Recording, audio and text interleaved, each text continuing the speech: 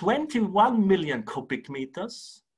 We have about 4 million sources, the waste bins in Austria, and we have hundreds of sinks, different treatment ways. So waste management I wanted to show now is not a problem of masses. It's a problem of volumes.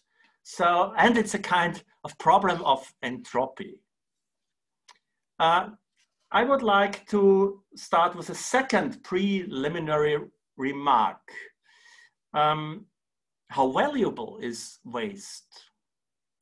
If we look at the turnover of one kilogram of material, one kilogram of gold is more than 30,000 euros per kilogram. Mobile phones, 4,000 euro per kilogram. Consumer electronic, electronics, 50 euro per kilogram. Food, approximately 10 euro per kilogram. Energy, fuels, about one euro per kilogram. Waste, hazardous waste is also about one uh, per kilogram. And plastic waste and municipal solid waste, it's worth about 10 cents, or 0.1 euro per kilograms. So uh, the material value is very low, so the logistics is very important for the waste business. We need large quantities. This means many people, a lot of companies, big industry to get relevant volumes to do this business. So what's my plan for the next hour? First, I would like uh, to give some uh, introduction into waste and logistics. Then uh, I want to turn to elements of waste collection, basics of waste uh, logistics. I want to look at uh, uh, waste flows, then collection and recycling schemes, uh, some special um, things about plastic waste collection, and at the end, innovative developments that are going on now. Something I will tell you um, yeah, first first chapter is about it. It's, it's an introduction.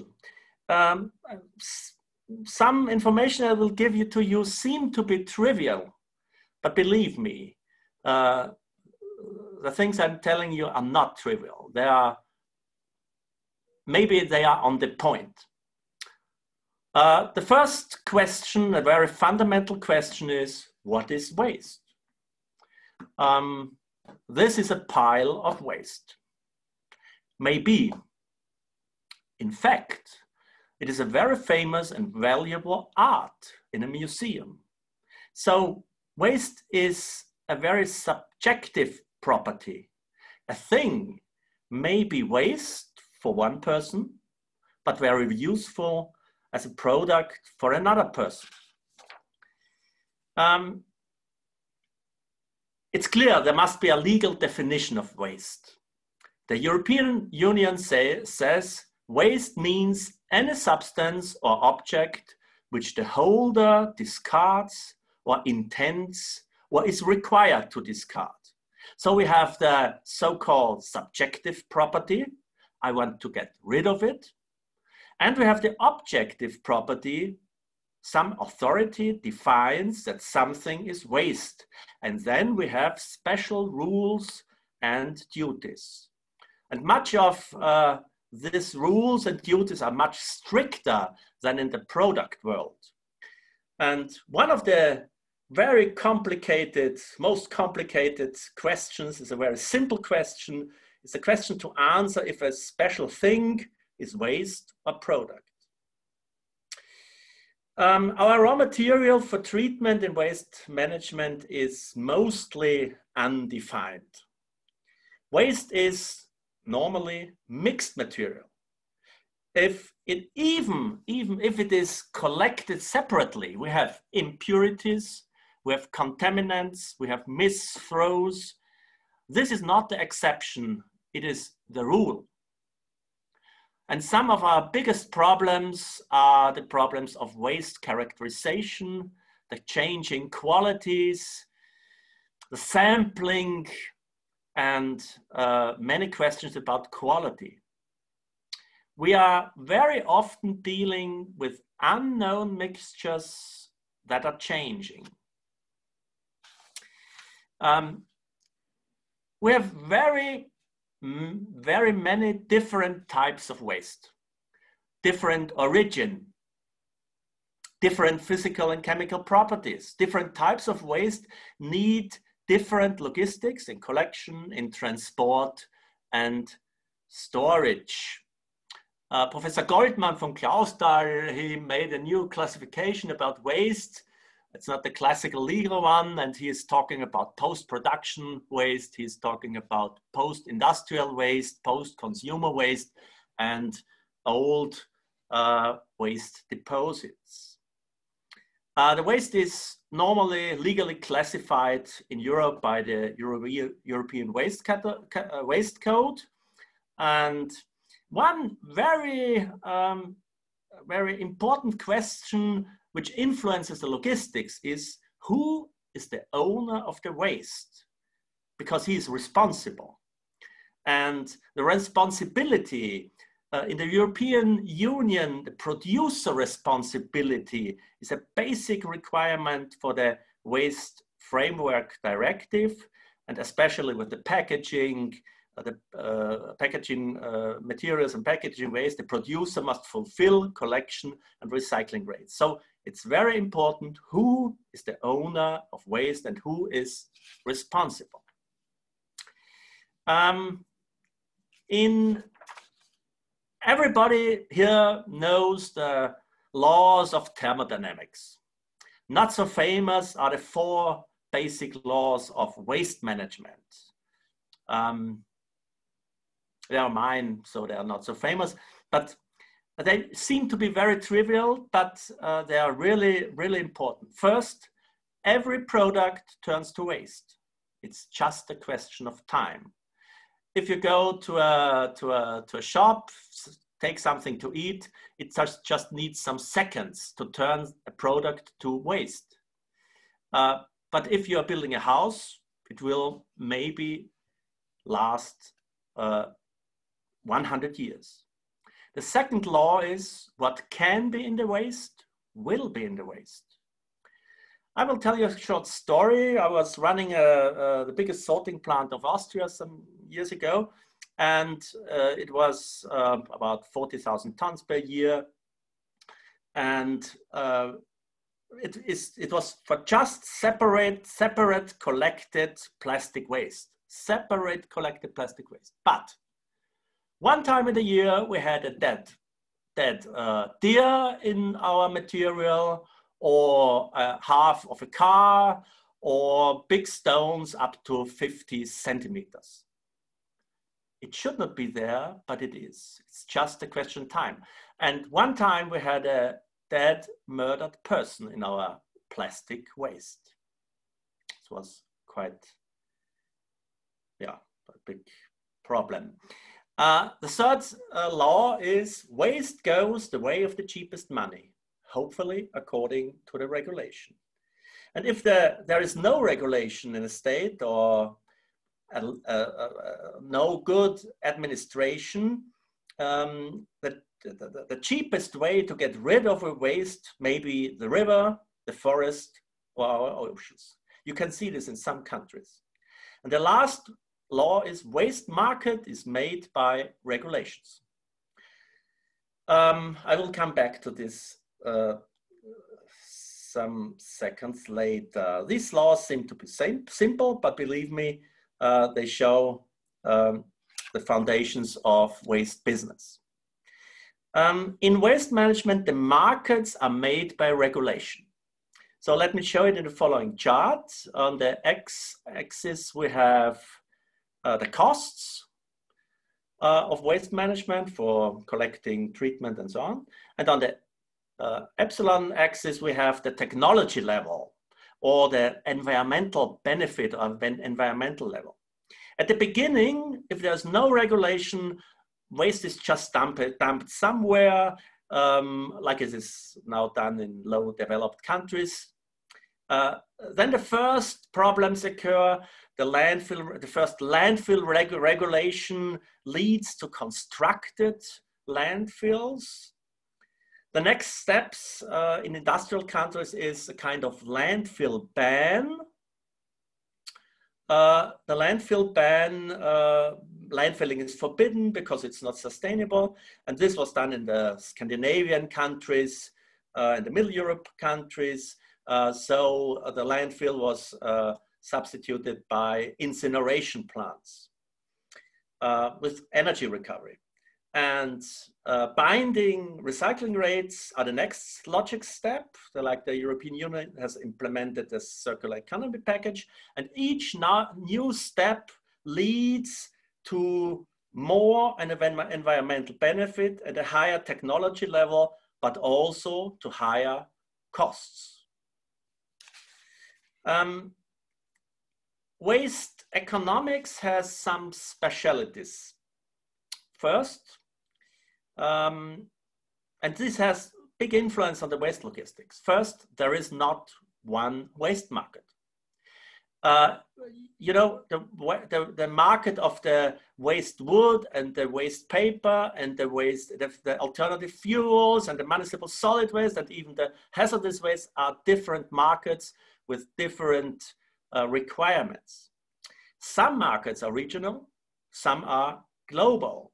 If you look at construction and uh, the demolition waste, uh, the market radius is, it's a, it's a regional market, just let's say 20, 30 kilometers. Uh, if you look at hazardous waste, it's international. Uh, you can go thousands of kilometers with this material to get, to, to bring it to some specialized recycler.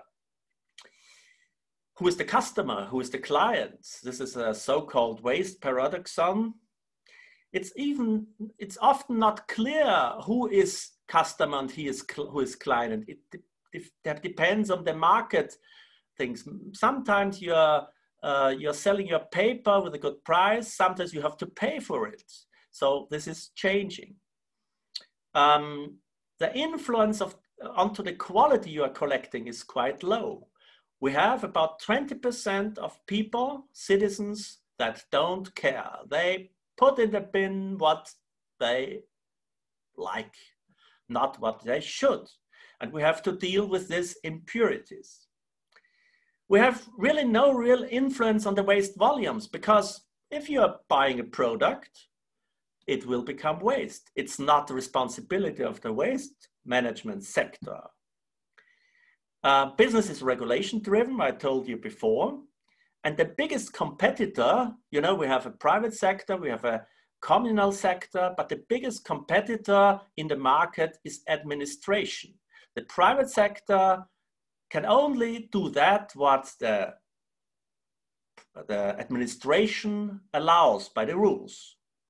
And usually, and that's uh, many people don't like this, but usually raw material value cannot finance the waste management system. So if we do more environmental better solutions, normally they cost more money. So um, let's go back to the question, who is the, who is the customer? Now the customer, in the most cases, it's not the people, not the citizen. The citizens use the service, but the customer, customer is normally uh, the municipality or the region.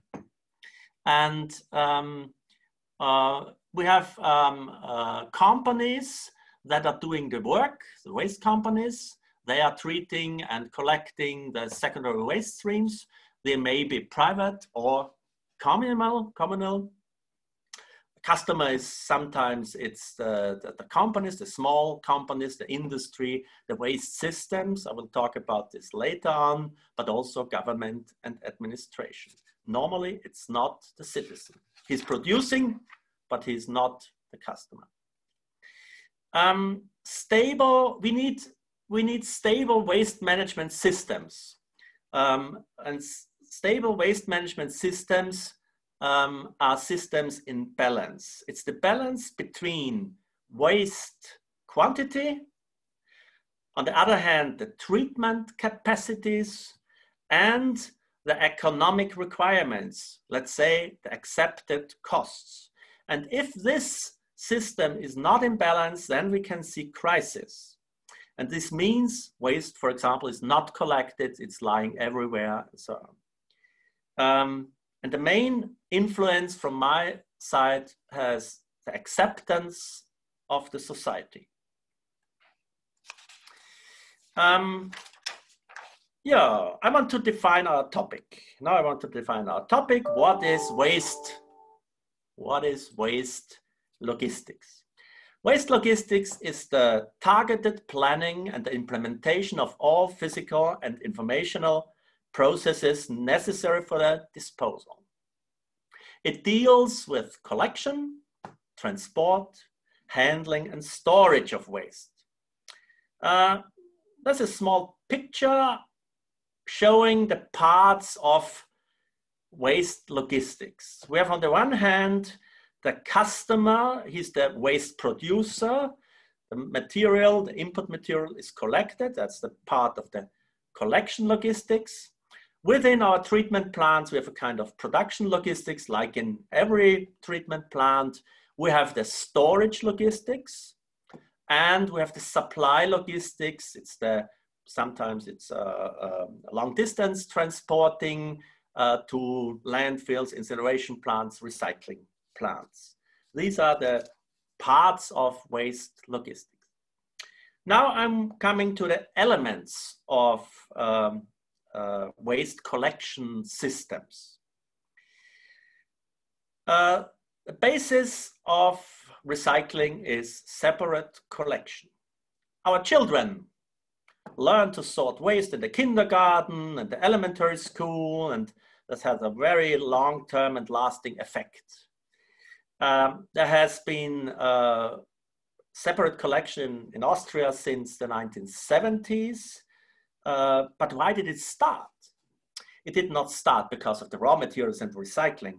The reason was the lack of landfill volume, uh, not, not, not the interest in the, in the raw materials. And um, today we are combining separate collection, especially with, with colored bins. And for Austria and Germany, we can say waste separation has become part of the culture. Separate collection is very uh, important for the following treatment, especially for recycling, because the citizen, uh, from, a, from a technical point, he's the first kind of sensor-based sorting machine because every particle is in his hand and he decides where to give it. He's the first sorting machine. Um, he or she defines the quality and the quantity. Separate collection everywhere? Mm, no. Some months ago, before Corona, I was in a European capital it looked like this, just around my hotel. Could be better, better collecting. I don't say which capital it was. We would be very uh, upset about it. Um, yeah, and yeah, uh, what about developing and emerging countries?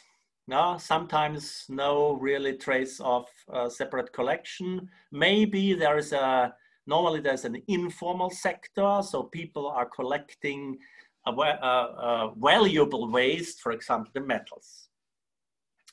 Um, but there are people in the landfills who pick up out and pick out what uh, could be used and can earn a living from this. Um, separate collections, something new. Let's have a uh, look a little further back, more than 100 years. This is a book uh, of an engineer and of the Empire of Austria. You know, Austria was sometimes a little bit bigger than, that, than now. Uh, he lived in Budapest and he wrote a book with the title Electricity from Waste, which was published 1911.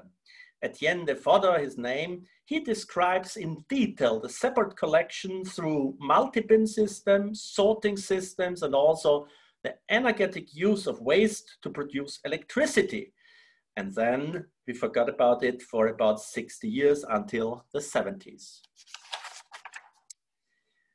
Uh, one more word to history. Here are some more historic pictures the oldest picture I found showing waste collection showed the first picture on the left, Hamburg, 1609.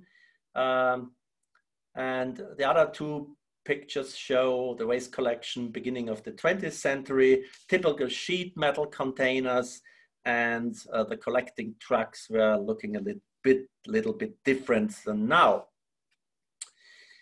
Um, we have, there are four principal cases of waste collection.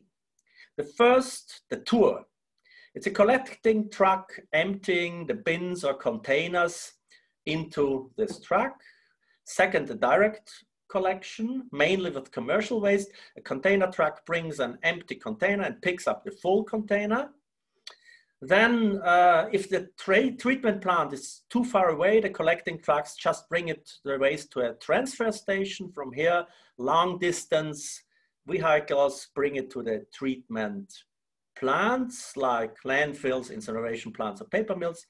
And we have the possibility uh, of subcontractors. So the waste contract belongs to a waste company, but the transport is made by a subcontractor directly from the industry to the treatment plant. Um, the waste collection system has three elements. The first element is the type of the containers. The second element is the type of the trucks. And the third element is the organization, which means frequency of collection, collecting where, uh, collecting place, the fee system, and so on. And for every collection system, we have the right containers. Uh, here is just uh, uh some possibilities. Uh, on the one hand, we have the empty out system container, uh, which are filled into the trucks. then we have the containers for the containers for change system, uh, also some possibilities. And at the end, we have the single use system containers, for example, for infectious uh, waste in, in hospitals. And each type of waste and each volume finds its right container. Used materials are mainly polyethylene and steel. We have also a, a variety of uh, uh, a variety of trucks um, uh, I will introduce the most used vehicles later on. Now to the basic collection systems. Uh, the collection without system, um, it's the easiest one. Uh, the waste is lying at the curbside, there's no container, and it was used some years ago uh, for bulky waste in Austria too. The single-use system with bags used for collecting waste and at events, for example, or in rural, rural areas or for plastic packaging. Here you get defined number of, number of bags. If you need more, then you have to pay a special fee. The third system is the empty out system. Um, it's the most, most used uh, system for the municipal waste, but also with small volumes of commercial waste. And then we have the change system, commercial and industrial waste, but also construction waste is mainly collected in containers with the change system. The collecting waste company brings the empty container and takes the full one with the truck. Um, we can also, uh, if we organize collection systems by location, then we can describe, on the one hand, a pickup system. The waste is collected at the house or from the curbside. You just have to position your bin at the collecting day and we have the bring systems like collecting islands. Uh, here the citizen has to go to a public, public collecting place where different types of municipal waste is captured. Um, very good infrastructure, the recycling yards. Um, it's also a bring system. It's also a bring system, but you have to go to this recycling yard it's a central collection point, uh, waste material collection centers, the collection of additional waste, green waste, bulky waste, uh, electronic waste, metals can be done here. And partly also commercial waste can be delivered.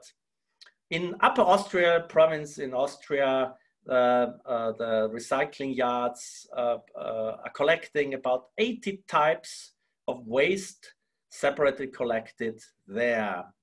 And if you have enough volume, if you have a defined quality, you can get quite good prices for this. We have um, two types of vehicles in collection. Uh, we have two, two types of vehicles, not in collection. We have on the one hand uh, the collection trucks. Um, they have three main elements. On the one hand, the chassis, then the body, and the loading equipment. And they serve to collect the waste directly from the waste producer. They are not transporting for transporting, they are for collecting. So if you have to go a longer distance, uh, normally you take a, a, transfer station and go with a long distance truck to the treatment facility. Uh, the long distance trucks um, from transfer stations or from the output from uh, log logistic centers of the waste management companies, uh, they are going a long, a long distance to, for example, incineration plants or cement plants or paper mills or something else. Um, yeah. First, we'll, look at the collection trucks. Uh, we have three main types um, that, that, um, uh, that differ in the different ch uh, charging devices. And we have on the one hand the backloader, uh, second, the side loader, it's filled from the side, and the front loader, which is over the front. Uh, just look at these uh, cars or these vehicles. The, the, the most, uh, mostly used is the back loader with the plate press. Uh, it's not necessary to describe it in many words. I will show you a short video uh, it's animated and then you will understand how it works. I hope it works. Lawrence, could you tell me if it works? Just look at it. Yeah. I don't see it at the moment. It's still your presentation. Do you see it? Do you no. see it? No, why don't you see it? That's very bad. Because you're sharing your presentation and now it's probably opening in your uh, no. in your Explorer. What can I do? Just a moment. I will try to do just a moment.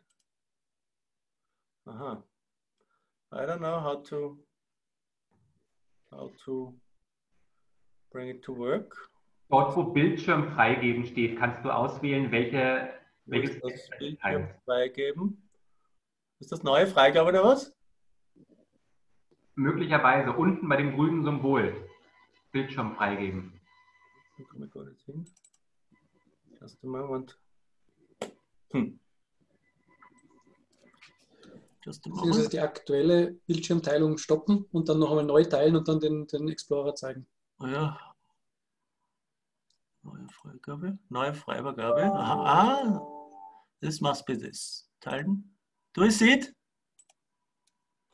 Yes. Do you see it? Yes. Yeah. So here is a backloader can see here.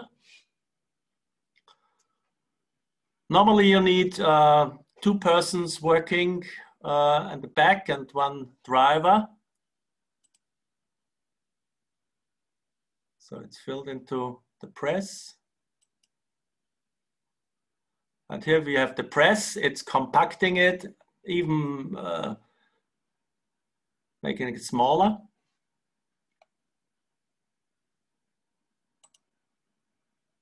Just a moment.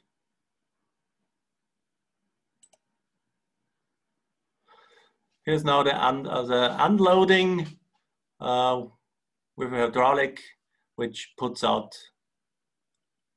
the stored material. So that's it. Just a moment. I will go back to my presentation. So that's it. Uh, the second one is the rotary load loader. The rotary loader, um, you can see it in the big cities with normally with um, with incineration plants. It's a vehicle with a rotating drum, and the constant turning of the uh, around uh, results in a kind of mixing and shreddering and a kind of compression but this also has a negative input on the, or the ne negative uh, effect on the, uh, on the quality. Uh, and when emptying, uh, the loading device is hydraulically pushed up and the drum rotates in the opposite direction and everything is going outside. This system is not very good for recycling because it's mixing everything and if there are impurities, you have it everywhere. So it's not good for the quality. The last, uh, last uh, the, the next uh, kind of truck is the side loader. Uh, the side loader loads from the side and it's a one person collection truck and the driver works with a with a joystick. I will also try to um, to show it to you just a moment. No, that's not. See it here. Just a moment. You can see. Die Seitenlader Saubermacher sind schnell. We can see a side loader so we have just one driver is sitting on the on the on the other side, so it's sitting right. And uh, this system, uh, the containers must stand in the right position. And uh, this system is not possible in the bigger cities. It's more for rural locations and small and small cities.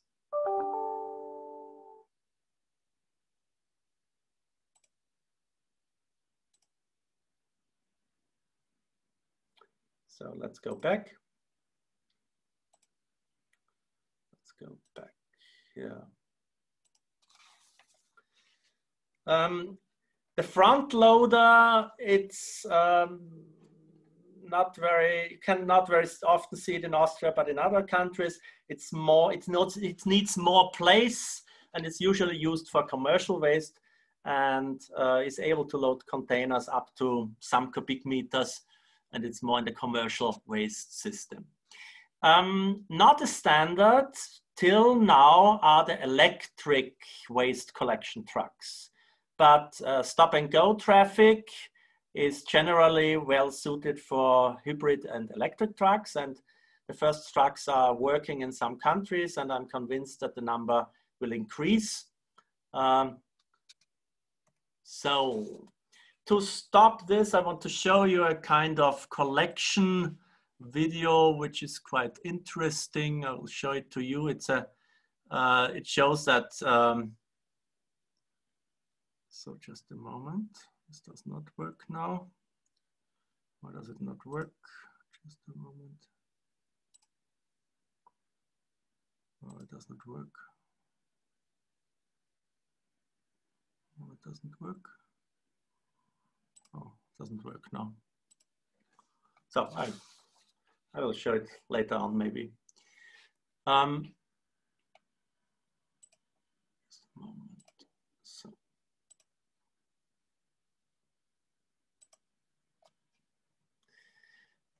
Um, if we are we are now coming to the to the uh, long distance transport, if we, we have two two uh, systems two types. The one uh, is the walking floor truck. He has a moving floor, which is hydraulically driven um, um, conveyance system for moving bulk system. And the moving floor is divided into three sets of narrow floor slats and every third slat is connected together. And so uh, it's hydraulically powered uh, to move forward and back. And when all three sets are moving together, the load is moved uh, upon them in the direction the operator wishes.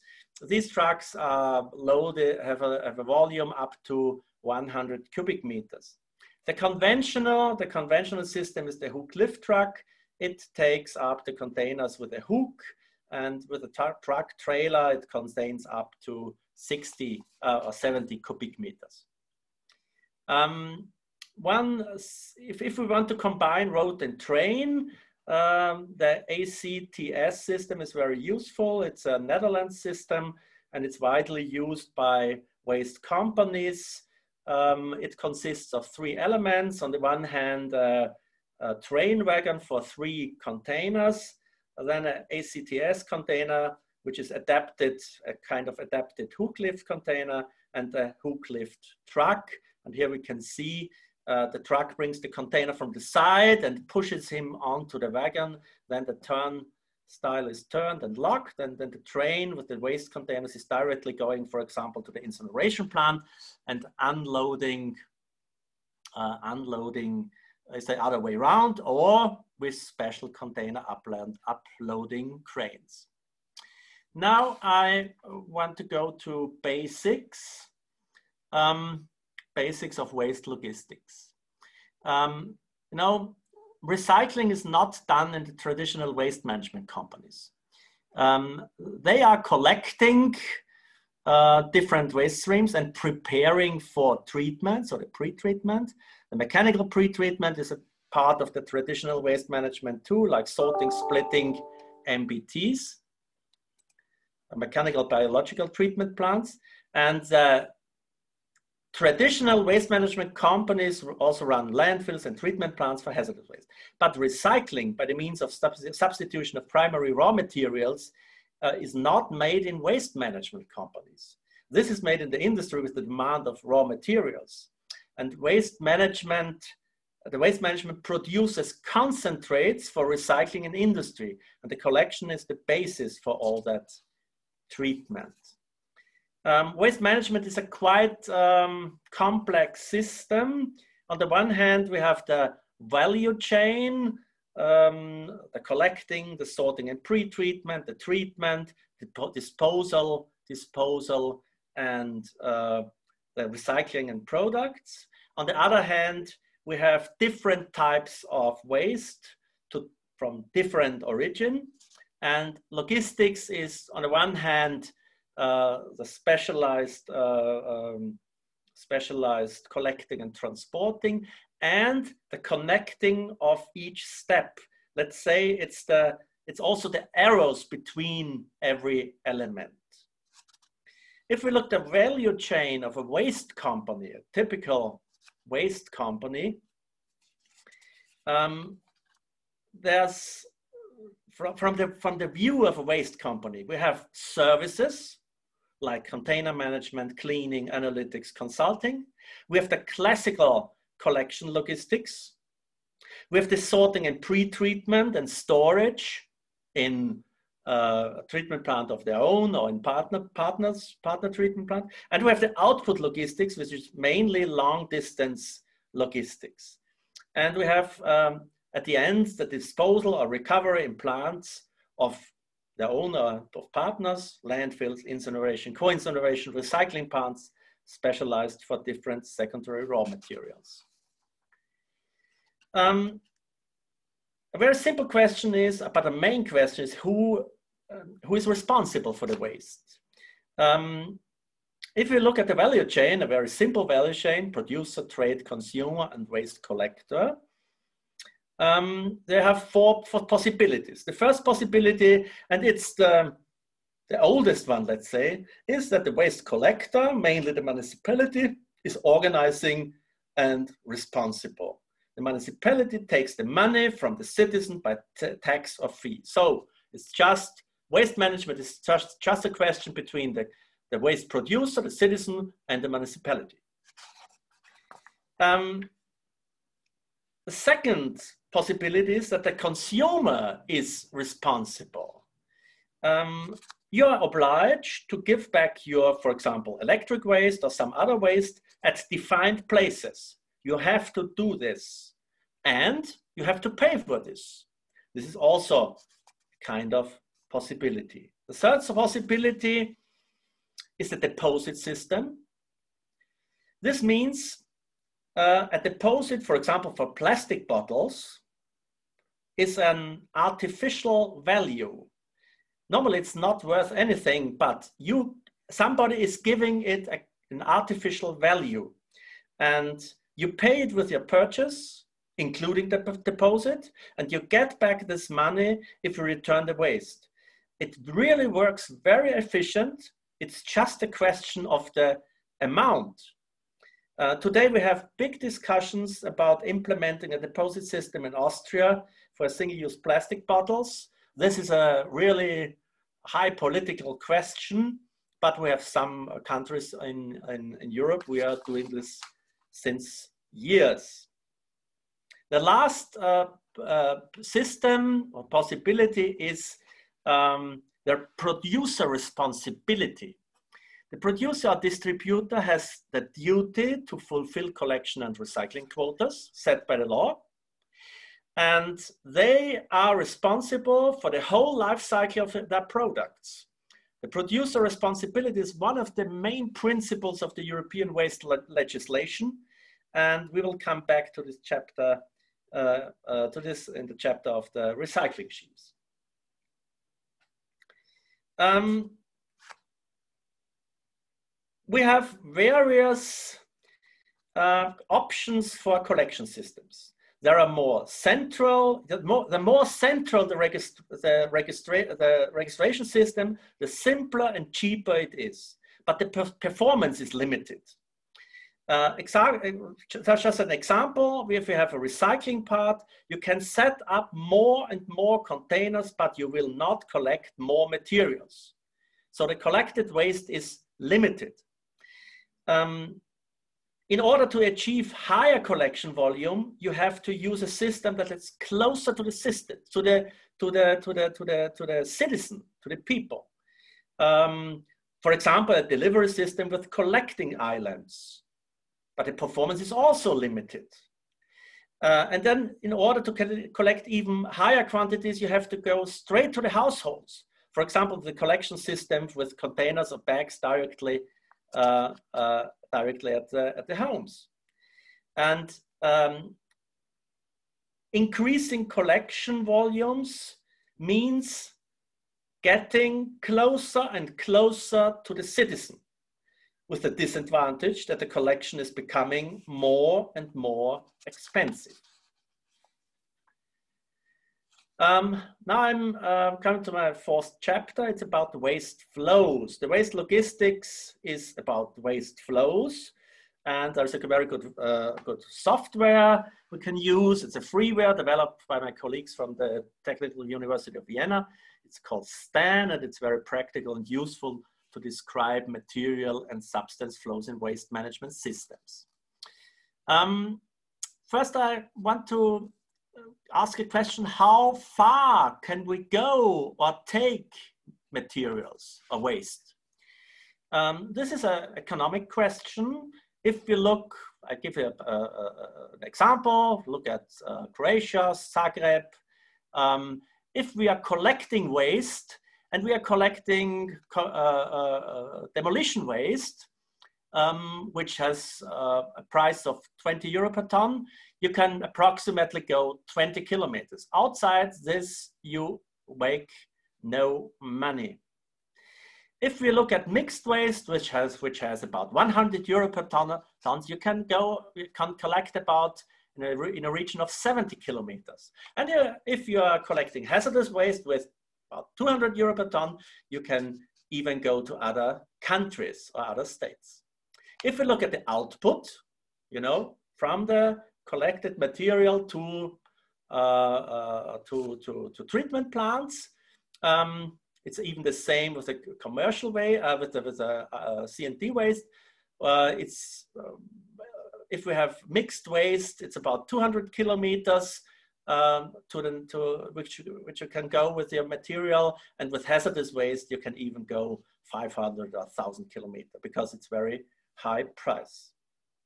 This we call the market radius and outside this radius will not be able to be economically.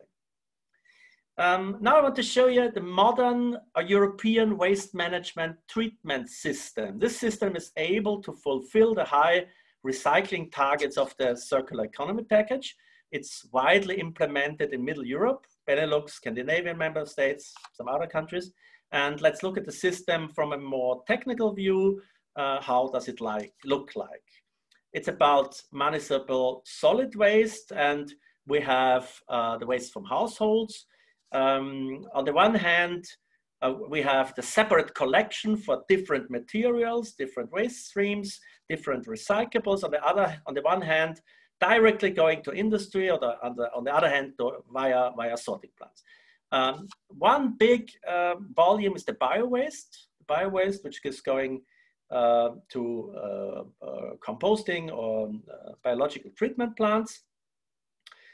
most of the mixed municipal solid waste is directly going to great incinerators, state of the art with treatment of ashes, and residues have to go to the landfill. Alternative is to the inciner classical incineration, we have the MBT system, mechanical biological system, which combines the mechanical and biological treatment with co-combustion in the industrial waste to energy plants like uh, fluidized bed incineration plants in paper mills or cement plants. And the landfills always is our last sink. Now we want to improve the system to reach the high European recycling targets. You know, these targets from from uh, from uh, circular economy package. So what can we do? First, we can improve the separate collection. Here we have very big differences between the regions. I'm looking at Austria. Um, the mixed municipal waste in average is about 130 kilogram per capita a year, but it varies very much. For example, in the, in the west region of Vorarlberg, we have just 80 kilogram, in Styria 130, and in Vienna, big city, 300 kilogram per capita a year. This shows the potential of separate collection um, and from my point, um, especially the biowaste collection has to be improved. The second thing is um, uh, the existing mechanical and mechanical biological treatment plants can be upgraded by new technologies like sensor-based sorting and so on. And from technical point, we are uh, able to bring out more recyclables than we do now. And even in, in, in alternative fuels, so-called uh, RDF, production, we can remove some recyclables. Third, we can, uh, uh, yeah, that's not relevant for us now. Uh, existing uh, sorting plants must be optimized in quantity and quality, and we maybe we need new solutions for impure fractions of plastic and paper. So feedstock recycling, uh, chemical recycling could be one of the future solutions. But um, there's a very uncomfortable truth. Uh, waste management will not be cheaper in future. It's more work, more expense to reach these targets. Um, but let me tell you some words about plastic recycling flows. I would like to show the situation in Austria. If we look at the waste flows of mixed municipal waste, including packaging waste, uh, here we have the most plastic included in these streams. And the main stream, you can see, uh, uh, the mainstream is directly going uh, to the municipal solid waste incineration, great incinerators, um, or uh, indirectly, indirectly going via MBT to cement plants and co-incineration plants. And if we look at the whole system, just 4%, just 4% uh, are, are, recycled as plastics and 3% as metals. So 7% of recycling rate in the system is not very much. Uh, although we know from sorting analysis that we have relevant amount of recyclables in the gray bin and uh, uh, also plastics. Let's look at the plastics. It's the same, but just in another uh, kind of uh, picture. Um, uh, I want to now, now look especially at the, uh, the potential of polyolefins. So not all plastic, but the polyolefins, because it's quite good for recycling. Um, uh, here you can see the mixed waste streams of Austria from the, from the municipality, from the commercial and from industry. So it's uh, polyolefins are about 400,000 tons in our, our waste. And uh, most of the plastic in municipal and commercial waste is polyolefin, but we are just recycling 60,000 tons of polyolefins. This is just 15% of the polyolefin content. So 87% are now uh, incinerated for energy and um, um, I think this shows that we have to do something and we need solutions for impure fractions and maybe uh, it will be necessary for impure fractions to think about chemical recycling too. Um, now I want to like, I would like to uh, look at international waste flows. So, um, want to give you an example of international waste flows based on um, long distance logistics. It's about incineration in Europe, in Middle Europe. Um, uh, some for, for a few years, the incinerators complained about too few quantities and massive overcapacities in incineration. On the spot markets, it was traded on uh, very low costs. And in the last three years, the market has turned massively. The municipal waste from UK is uh, uh, flowing into Central and Northern Europe. This is filled up. Uh, this has filled up the free capacities, and spot quantities are no longer assumed. And uh, if you don't have a long-term contract or have calculated with spot prices, you have a now big economic problem. But in the south, in the south, uh, there are countries that have not yet managed to create combustion capacities. Italian, Italy, even Slovenia, for example, exporting pre-treated waste to the north. And even with the Central Europe, there is an increasing waste volume exchange. Today, classical incineration plants, waste to energy plants, cement plants are fully occupied. There are no more free capacities available. But beware, beware, Great Britain, many plants are under construction. They will start in some years. The waste flows from the island can dry up. And how the Brexit will affect the material streams, nobody knows. Uh, another thing is uh, the big influence of China. Uh, China influences very much uh, the waste, international waste streams, uh, especially the West plastic waste, and up to 8 million tons of plastic was exported to China till 2017. But then the green fence policy was implemented, imports of plastic was reduced massively, and uh, large quantities of uh, plastic from Europe and USA ended up in China for recycling, not from Austria, I have to say, because our legislation provides this. And uh, but the Chinese almost stopped importing plastic 2018 at the national SWORD program, where form it was the green fence. Um, and it's very interesting that the exports you can see in the chart to other countries then increased massively. In my opinion, some countries have failed to take responsibility of their waste and try to export their environmental problems. From my point, it's a scandal not to treat, uh, uh, take responsibility of their own waste uh, and uh, bring it just to somewhere. Um, yeah, many countries were exporting their environmental problems to China or to other countries. And um, I think it's time for many countries to change the politics. And I'm convinced that uh, responsibility to recycle and solve our environmental problems, that this is our responsibility.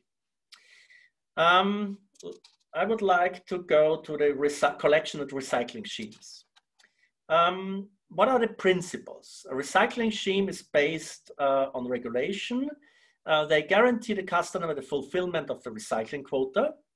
Um, they take a license fee from the customer and the customer has to do nothing about uh, anymore. Um, they take the revenues from the secondary raw material.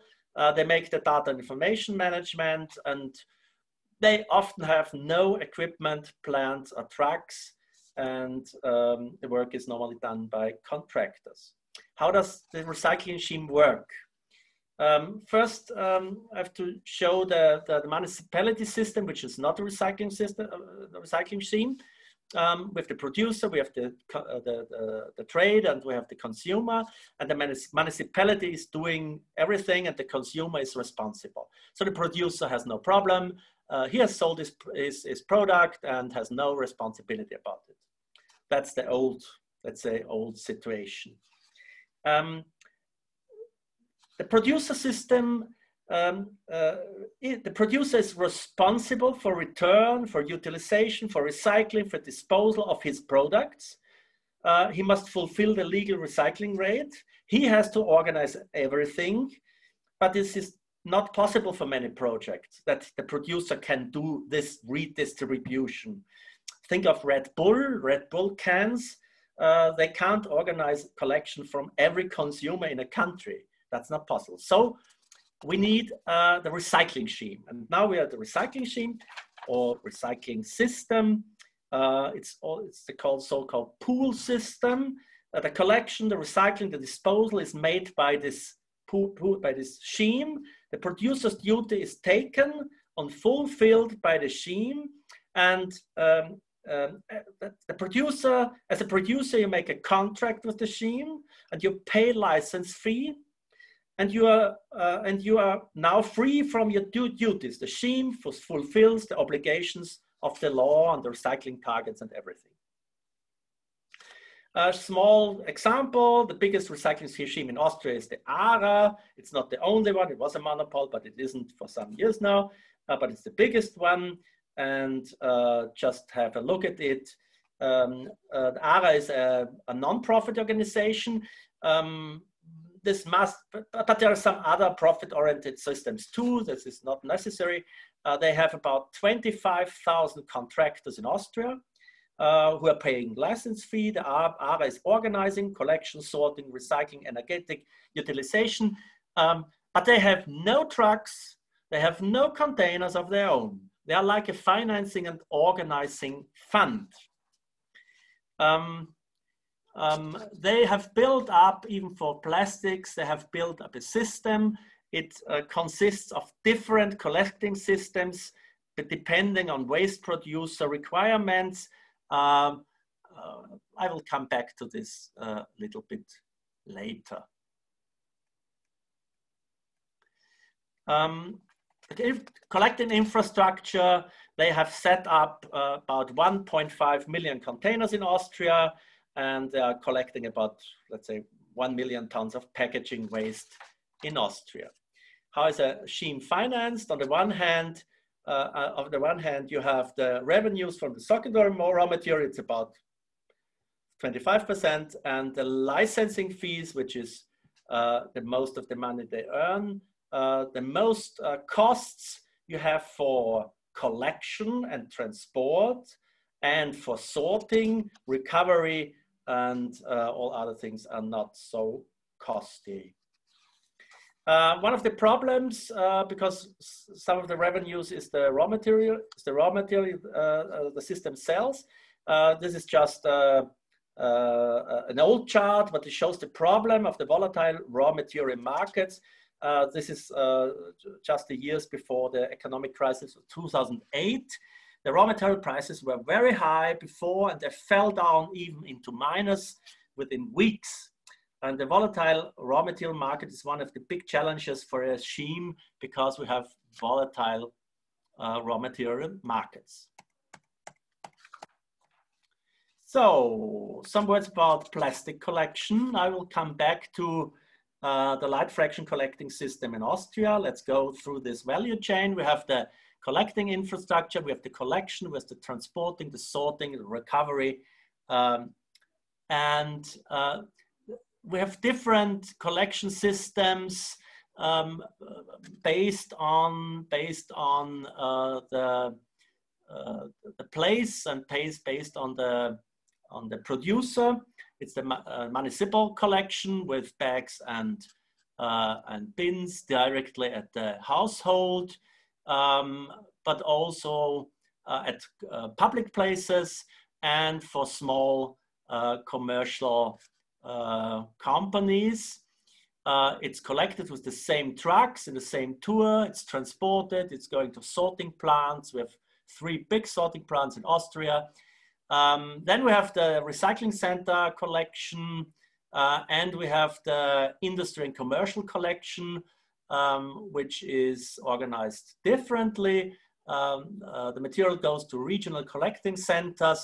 From there, uh, to the sorting plant. The sorting plant is, let's say, producing concentrates uh, and uh, the concentrates, special plastic types, uh, pressed to bales are going to recycle, special recycling treatment plants or to waste to energy uh, plants. Um, normally their energetic uh, uh, uh, utilization is made by in the cement industry. You're producing um, alternative fuels, RDF, out of the not possible recycling material.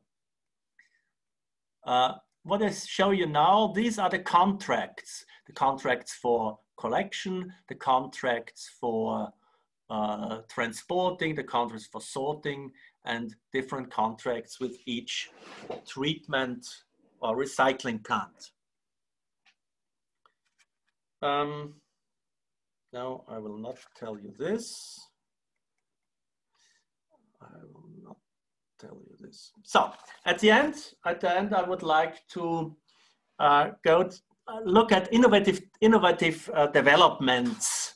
Um, it's mainly about digitalization of waste management. I was inspired some some charts from uh, my colleague from Kerstin Kuchta from Hamburg. Um, you know, digitalization means changing business models by improving business processes based on the use of information and communication technologies. This is also digitalization in waste management. Um, digitalization changes the direction of thinking. So the old business on the left side um, is thinking from the producer to the customer. And the new world thinking business is thinking from the customer who is measured and analyzed back to the industry. That's, I think, that's the main uh, difference in thinking. Um, in logistics, we need new hardware. Uh, what does this mean for a collecting truck? This means uh, telematic system. This means onboard units. This means special weighing systems, RFID identification systems, integration of cameras, and so on. Um, digital truck management systems new, uh, uh use uh, GPS route recording, route navigation systems, weighing systems, and every data is collected and shared with the network. Um, this enables us to optimize um, collection in regions by tour optimization software. You can see before it's maybe little uh, confused, uh, little, uh, let's say, mixed tours. And after optimization, you have uh, optimized tours and lower transportation and logistic costs. Um, but we need technical hardware to connect containers, collection trucks, and management. One new um, developments are so-called smart containers. They have sensors that give information about waste level, give order to empty, and collect even other data of temperature or something else. And there is an interesting pilot project in Lower Austria to optimize glass collection by smart containers. And I think this is the future. So it's not defined, it defined tours, but it's tours on demand and on the level of full um, uh, full containers. Um, intelligent containers will communicate with the smart trucks and the smart trucks uh, should know where they are collecting. Uh, they uh, should be uh, self should work with self self learning route planning, uh, traffic related route planning. Uh, it's also about preventive maintain predictive maintenance um, and maybe in some years autonomous uh, collecting, but this is far in the future from my point. Um, a development I'm not convinced, convinced um, I'm not convinced of is the redistribution, redistribution of waste by delivery systems. Today, uh, legal restrictions are preventing this widely, and I don't think that all waste should be collected by sub sub sub subtract contractors of Amazon or Google. Uh, from my point, we should avoid this development, but sometime it could be an advantage. We've also kind of Uberization of commercial waste starting. Uh, new platforms are developing collection of standard commercial waste. Uh, one example is the so-called waste box. If you're on the platform, you offer a waste collection contract for your waste and partners, companies can take up this contract to the best price. And um, this optimizes logistics and the platform is the provider and makes the money with the number of transactions. And today we are not able to decide if this business model will succeed, but we will see in the next years. Uh, there are some digital platforms, you know, the Waste Amazon business models for waste management. On the one hand, several solutions business to customer. The classical digital selling. It's not so innovative. But on the other hand, we have the business to business uh, uh, systems, uh, digital platforms, standardized business, franchise system is possible, apps for customers, and yeah, the, the, business model is you make your money with the transaction fees. So it's not a regional uh, business anymore. It's a international business. You can multiplicate it. Um, yeah. Last, uh, the last uh, um, I want to show is the so-called waste scan. The waste scan, uh, which, um, um, you know, 40% of the municipal solid waste, the gray bin, are recyclables. They should not be in there. It's 30 to 50 kilogram per capita, capita a year. Should go to the separate collection, but they don't.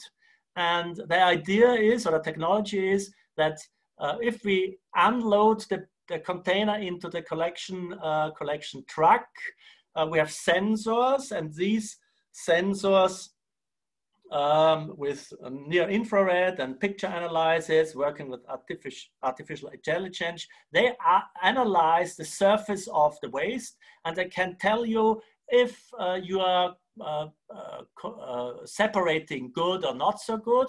And it's possible the information of separation quality is given back directly to the people by their mobile phone.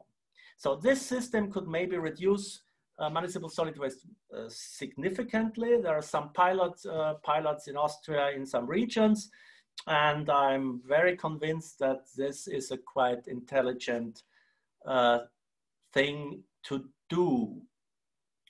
Um, here you can see the picture, the picture which is uh, uh, analyzed by uh, artificial intelligence. Now, my conclusions. Some short words. Waste collection is the basis for waste treatment. What we don't collect, we can't recycle. That's one of the basic words. Separate collection is the basis for recycling. And the quality we collect is very necessary or it's, it's very important for recycling. The convenience motivates the people. So we have to make it simple. If it is too complicated, nobody will do it. And if even everybody knows and every, even everybody is motivated, 20% of all people will do nothing. That's one of our big problems. More and better collection, more and better recycling and waste treatment brings more environmental benefit. I didn't tell you much about this, but uh, uh, recycling is really a good um, advantage if we think of reducing climate gases, for example, or save energy and so on. There are many ideas and technical developments like digitalization, but it costs more money. That's the truth. Politicians don't want to hear this. But are we ready to spend more money on it? That's a question, that's a political question, that's a question of society. I want to close at the end with uh, some words of, the, of a great waste management philosopher. He asked one of the fundamental questions of waste management. It's Homer Simpson, who addresses an essential question in the waste management why always me to bring out the garbage? And really, at the end, for everybody, everyone who thinks new ideas, it doesn't work. I would like to give the words from Nelson Mandela. Everything is impossible until it's done. So, thank you for my lecture. Thank you for your interest. Thank you.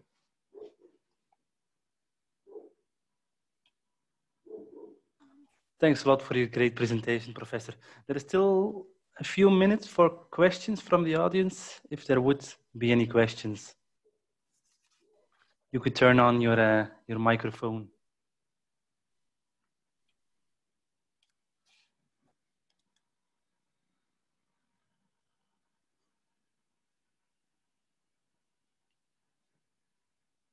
No question.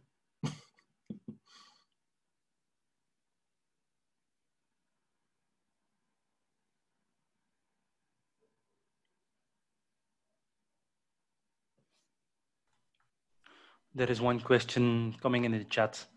Um, it's a question from LZ Motan.